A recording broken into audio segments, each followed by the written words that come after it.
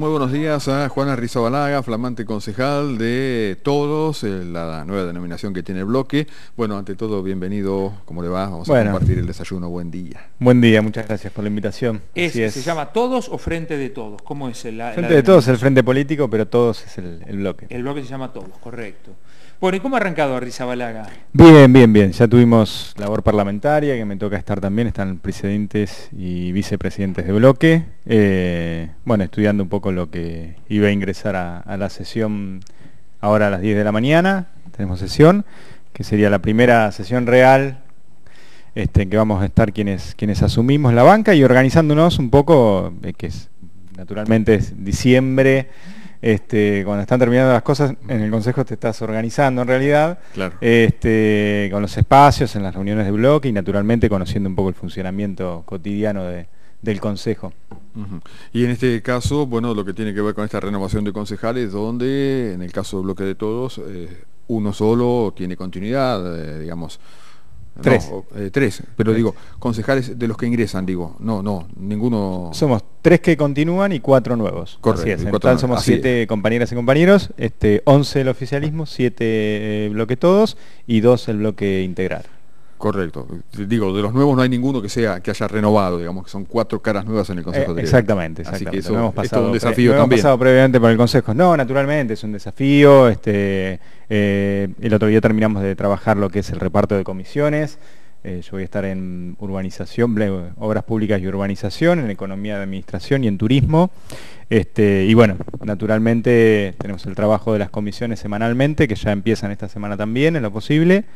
Eh, y vamos a tener sesión hoy y el 30 probablemente de diciembre también, y hoy entra el presupuesto entre los temas más importantes, así que bueno, tenemos labor en todas estas semanas. Ahora volvemos a, los temas del Consejo, pero te pregunto ahora desde lo personal, eh, más allá de lo formal, ¿cómo fue para vos después de tanta, tanta militancia, tanto trabajo, llegar al Consejo? ¿Con qué te encontraste? ¿Con qué te sorprendiste? ¿Qué esperabas? ¿Qué no esperabas? Eh, lo, digamos, cosas que has ido descubriendo. desde lo, desde lo no formal, te pregunto. Este, no, en realidad la verdad es que uno ya venía participando en la agenda pública, en la política pública, si bien desde afuera del Consejo, y no nos resulta tan extraño, pero realmente es un desafío nuevo y en lo personal es una reorganización incluso hasta de, hasta de la familia. este, fue un año muy extraño porque la campaña electoral, eh, para quienes no, para que yo vengo de la actividad laboral del cuentapropismo, digamos, y te corta y te desorganiza bastante el año, eh, y te terminás organizando cuando el año termina, lo cual en lo personal, en lo laboral y en lo familiar es, bastante extraño.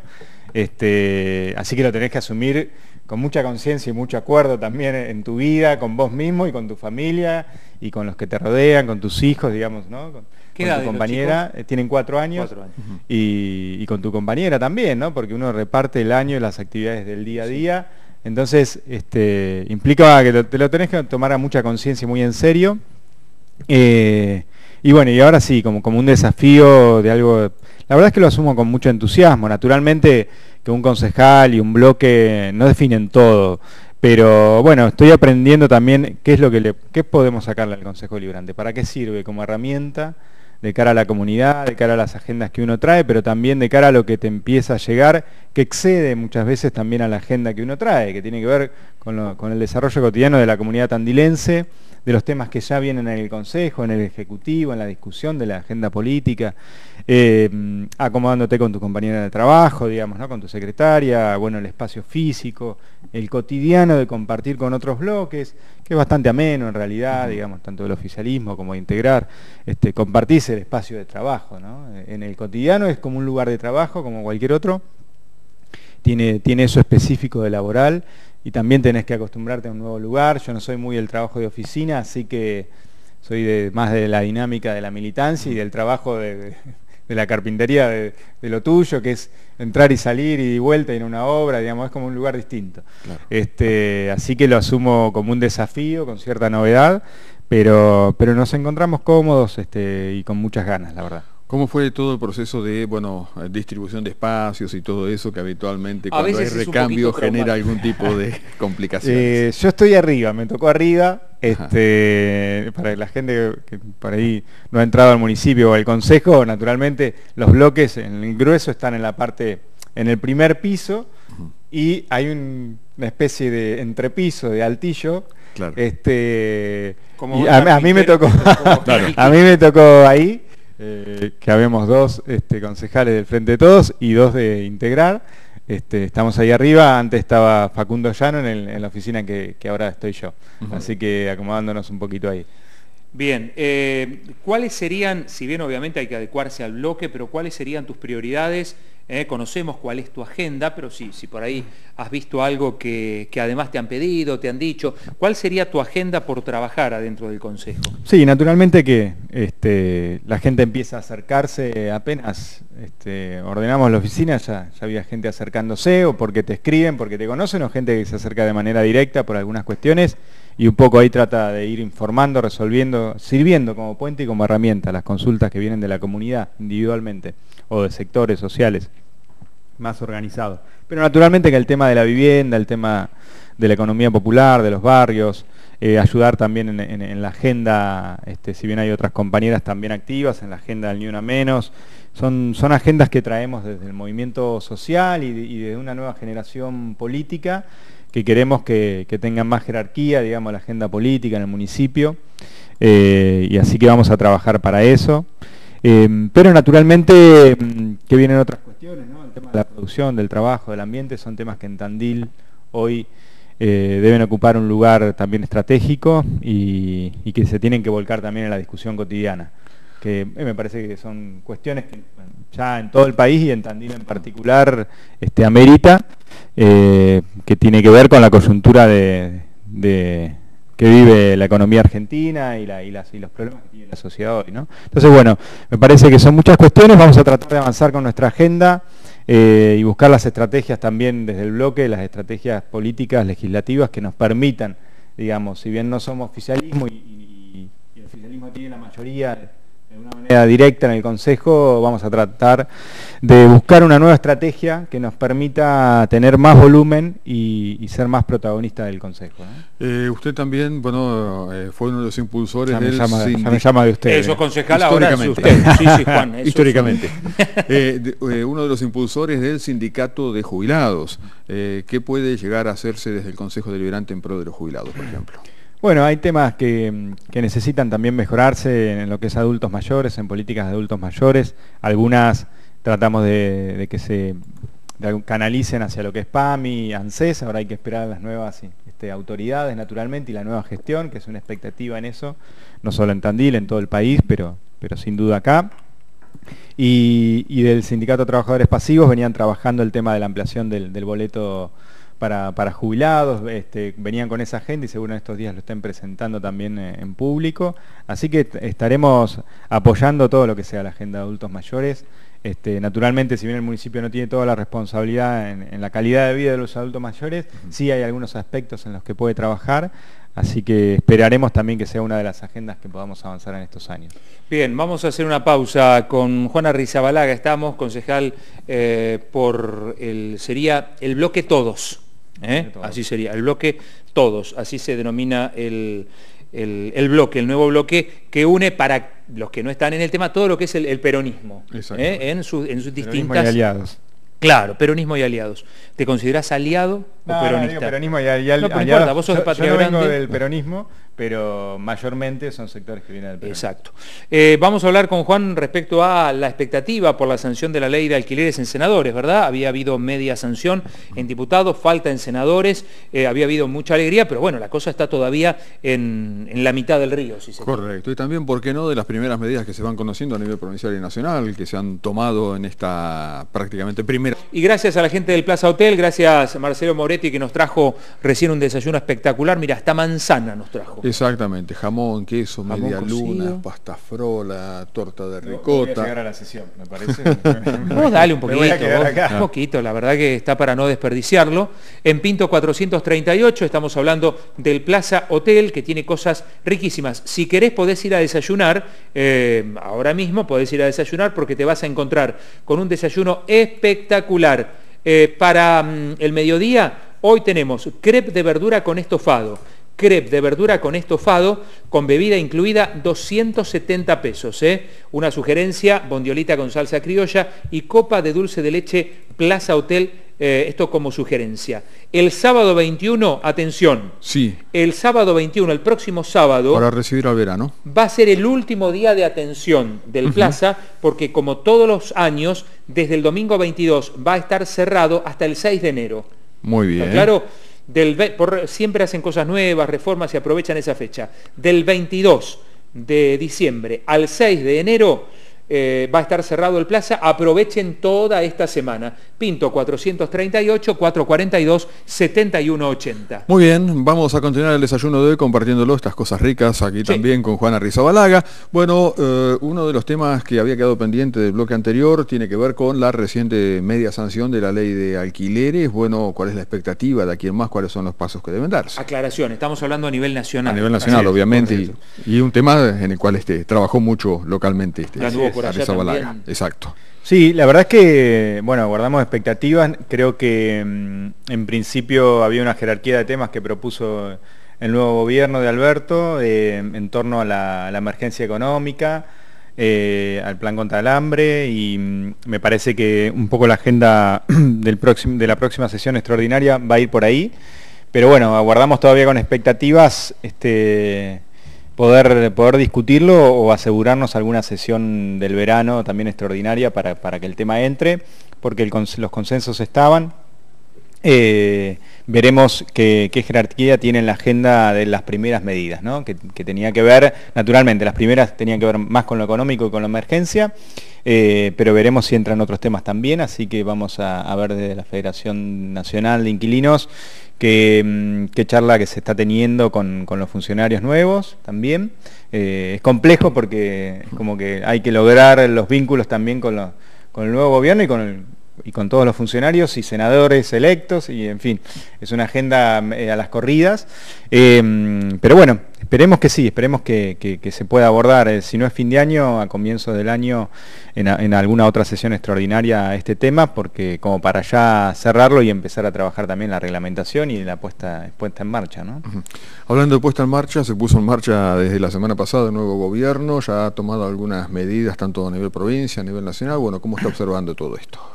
La verdad es con, mucha esperanza. Yo creo que hay, que en el conjunto de la sociedad hay, me parece, una expectativa con respecto al gobierno de estabilizar la situación económica y de que empecemos de a poco a recuperar este, el crecimiento económico, la distribución del ingreso y las medidas, eh, me parece, y las señales que ha dado el gobierno de Alberto desde antes de asumir y ahora que es el presidente han sido claras en ese sentido, que tiene que ver con la, deuda externa va a ser una renegociación que, esté, que sea funcional a poder recuperar el crecimiento económico y medidas de distribución del ingreso.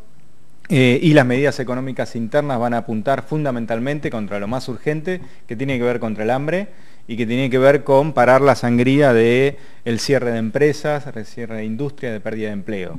Eh, estas van a ser, me parece, las primeras medidas que, ha tomado, son, vienen, vienen en esa perspectiva. Un poco? No lo sé, eh, eh, yo creo que... pregunta más. Yo creo que sí son claras las señales, me parece que el discurso presidencial fue bueno, fue claro en ese sentido y mm, las señales vienen, vienen dadas por ahí. Creo que en esto hay un amplio consenso social, lo cual es, importante también. Me parece que, coinciden, me parece con una mirada que más allá del partidismo eh, son claras, necesitábamos parar con esto de la deuda externa y renegociar en condiciones que permitan crecimiento eso, naturalmente, van a ser meses de negociación que van a ser muy arduas, que no van a ser nada sencillas. Todo acreedor quiere cobrar. Este, y Argentina tiene una caja casi sin dólares, lo cual es, muy difícil pretender que sin crecimiento y sin dólares en el Banco Central podamos, podamos afrontar eh, los pagos de la deuda externa. Y afrontar los pagos de la deuda externa hoy sería este, no hacerse cargo de la deuda interna, que tiene que ver con este, la crisis económica y el desempleo y el hambre. Entonces, me parece que tenemos que darle un fuerte apoyo al gobierno en función de empezar a recuperar una senda de crecimiento. Esto va a ser algo gradual y nada sencillo. Alguien dijo, y yo copio esta frase, vamos a salir por el ojo de una aguja. Este, porque las condiciones externas este, e internas son realmente muy, muy difíciles. Hay medidas que se han tomado que, bueno, en distintos sectores vienen generando ya eh, reacciones adversas, por ejemplo, en sectores del empresariado la doble indemnización se la cuestiona, en sectores del campo se cuestiona el incremento de retenciones. Sí, lo que, perdón, lo que se cuestiona en el campo por ahí, más allá del incremento la falta de diálogo, digamos, que se había prometido. Y la forma, ¿no? Eh, digamos, más allá de los porcentajes y que si bien no va a ser demasiado más eh, alta la retención de lo que se venía viendo, pero esta cuestión de igualar a todos, al que tiene 5.000 hectáreas como el que tiene 100 hectáreas, eh, el que está lejos del puerto, el que está cerca del puerto, como que se esperaba eh, una redistribución también de, lo que pueden llegar a ser las retenciones más acorde a lo que venía programando proclamando el gobierno. Sí, Naturalmente, en lo primero, todo sector naturalmente tiene su visión este, y, su derecho de, expresar naturalmente en función de sus intereses. ¿Qué, le parece o no la, medida del gobierno? Por ahí el error es tomarlo como el sector. Sí, sí, sí, por eso. yo creo que... También, bueno, determinadas particularidades que tiene el sector. Yo creo que por un lado se necesitaba celeridad en tomar una serie de medidas para reordenar macroeconómicamente eh, y desde el Ejecutivo Nacional, pero yo creo que confío en que sí, que el gobierno va a tener una estrategia eh, más segmentada y más clara con respecto a la diversidad dentro de cada sector, la diversidad de los mismos, tanto de la industria como del agro, me parece que hay diversos sectores, como de las finanzas, eh, me parece que en eso va a ser un gobierno razonable eh, y que confío va a tener capacidad de diálogo. Eh, y también, por otro lado, lo que le pedimos al gobierno, le tenemos que, eh, tenemos que hacernos cargo los diversos sectores sociales. También tiene que haber capacidad de diálogo y entender, con un dólar a 60 y pico pesos hay sectores que ganaron muchísimo y ese dólar que permitió que hay sectores que ganaron muchísimo se empobreció a millones, muchos más de los que benefició. Entonces ahora tenemos que ser serios en, más allá de los intereses sectoriales, eh, por eso que, que está bien esta aclaración que haces, eh, las medidas del gobierno anterior favorecieron a un sector que es el 1% del país y algunos otros sectores aliados que se nutren de las finanzas o de un dólar caro. Ahora, ese dólar caro destruyó la industria, el empleo y empobreció y elevó los costos de vida internos para millones de personas. Entonces ahora un gobierno naturalmente tiene que ver en función del desarrollo nacional, lo que implica a todos los sectores, los que ganaron más o menos y los que perdieron, pero también velar por un interés que hace a las mayorías. Entonces me parece que yo creo que le vamos a encontrar el rumbo, tenemos que desacralizar estas discusiones. este, el caso de las, de, de las retenciones son un impuesto a exportar, digamos, como existe en cualquier país del mundo, también tenemos que bajarle así, acerca de algunos mitos y naturalmente tiene que tener una estrategia inteligente y segmentada porque no todos los sectores eh, son iguales dentro de, tanto del agro como de la industria eh, y me parece que el gobierno tiene que arribar, eh, yo creo que fue positivo esta idea de un, ministro de un Ministerio de Economía y un Ministerio de Desarrollo Productivo que realmente tenga una estrategia inteligente, clara, que refleje realmente la realidad del país y que ojalá se puedan articular para, hacer posible que avancemos con los consensos internos con todos los sectores sociales. Yo creo que todos tenemos que, tener, que poner un poco de esa mirada más general y de cuáles son las jerarquías. Hoy empezamos por abajo, vamos a tomar una serie de medidas para reconstruir la estabilidad, negociar la deuda externa y recuperar crecimiento económico con distribución del ingreso, que es lo que se necesita.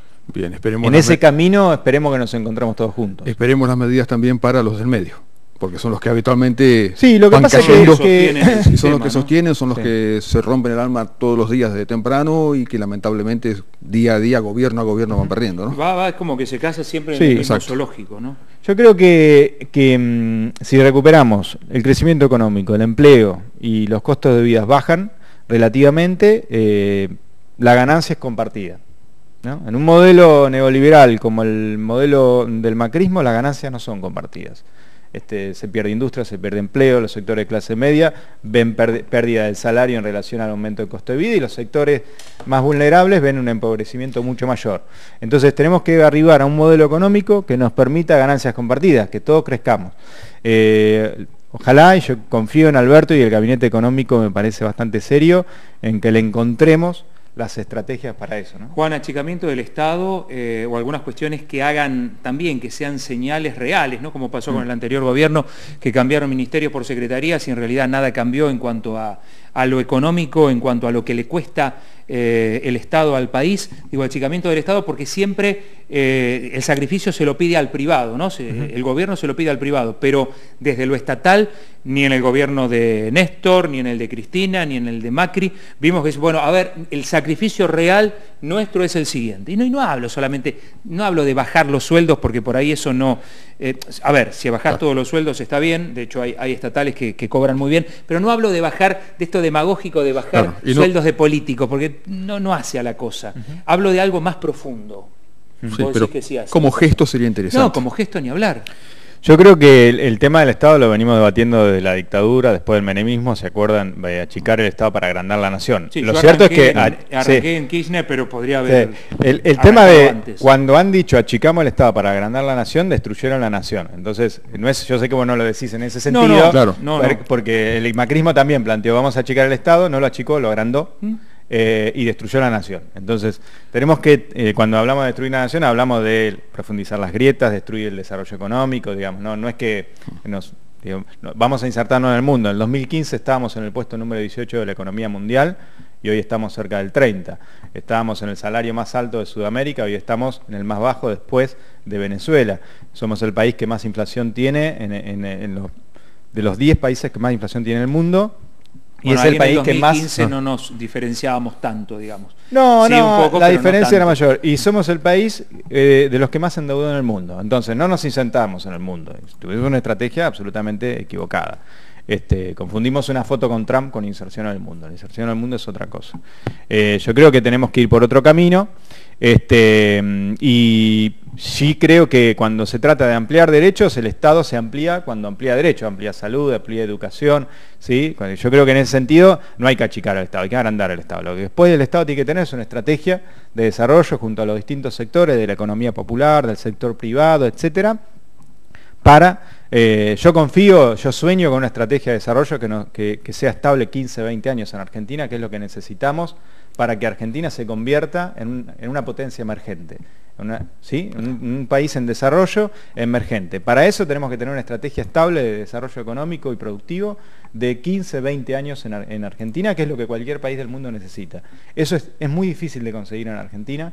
Para eso necesitamos que todos los sectores nos pongamos a mirar en ese objetivo más general. Argentina tiene 44 millones de habitantes, tiene enormes recursos, está en un lugar geopolítico que le permite eh, tomarse ciertas autonomías, eso es bueno. Ahora, si eso no lo convertimos en una estrategia de desarrollo estable, nos perdemos una oportunidad. Argentina tiene mucho más, eh, y no lo digo como un discurso, como un relato que ya hemos escuchado en décadas previas, de cualquier sector. Yo creo que, yo creo en esa idea de que Argentina tiene capacidades, condiciones para, un desarrollo de país emergente en, el escenario internacional, eh, pero para eso el Estado también tiene que estar presente, para el desarrollo científico, tecnológico, aliado a los sectores productivos. Me parece que tenemos que ir por ese lado. La, recuperación de los ministerios de salud, eh, de ciencia y tecnología, eh, de educación, me parece que va bien. El pensar específicamente un Ministerio de Desarrollo Productivo me parece que es correcto. Bueno, Estamos empezando, esto va a llevar años y no depende solo de un gobierno, necesitamos que el gobierno acierte y necesitamos que los distintos sectores, em, em, yo recuerdo la campaña, vino de Menditegui, era, que fue em, secretario general de la, de la UIA, hizo una charla acá en Tandil, y tenía una visión clara de, este, de esto, de necesitamos un modelo de desarrollo que perdure durante años en Argentina, Ojalá sea así, también los sectores empresarios también lo, entiendan así, eh, y que no sea que mañana en función de dos dólares más, dos dólares menos, eh, nos quedemos sin proyecto de país. Digamos, Me parece que tenemos que apuntar a algo más grande en Argentina, porque me parece que podemos caber todos en algo, no tenemos 200 millones de habitantes, no tenemos 800 millones de habitantes como la India, no tenemos 150 millones de habitantes, no, somos México, no somos Brasil, sin embargo tenemos muchos recursos para 44 millones. Eso es una oportunidad única, ojalá que la sepamos aprovechar todos los sectores de la clase política y también del empresariado. Juan, muchas gracias. Te vamos a volver a molestar ahora más seguido por ahí desde tu función como concejal. Bueno, Muy muchas muchas gracias. Juana Rizabalaga compartiendo el desayuno, concejal por eh, el bloque Todos, eh, que reúne mm, a, peronistas y aliados, como lo es el, partido por el cual entró Juana Rizabalaga, que es efectivamente, bueno, Patrick.